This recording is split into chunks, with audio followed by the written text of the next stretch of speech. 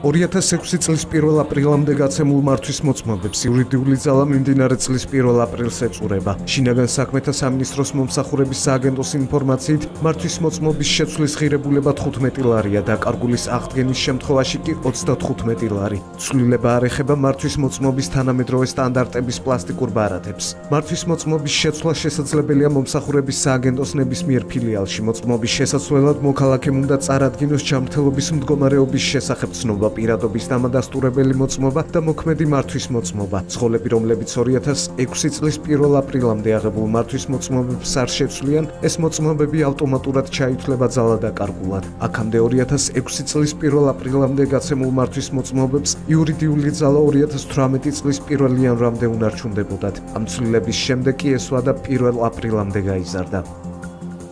2006 წლის 1 აპრილამდე გაცემული მართვის მოწვევის იურიდიული ძალა შეუნარჩუნდა 2018 წლის 1 აპრილამდე. ბოლო 5 თვის განმავლობაში მომსახურების სააგენტოს მიერ შეცვლილი იქნა 75000 აღნიშნული ტიპის მართვის მოწვევა. მაგრამ ჯერ კიდევ დარჩა პირები, რომლებსაც გააჩნიათ 2006 წლის 1 აპრილამდე გაცემული მართვის მოწვევები. შესაბამისად, მათ უნდა მიმართონ მომსახურების სააგენტოს შესაბამის სტრუქტურულ ერთეულებს და გადაცვალონ თავიანთი მართვის მოწვევები.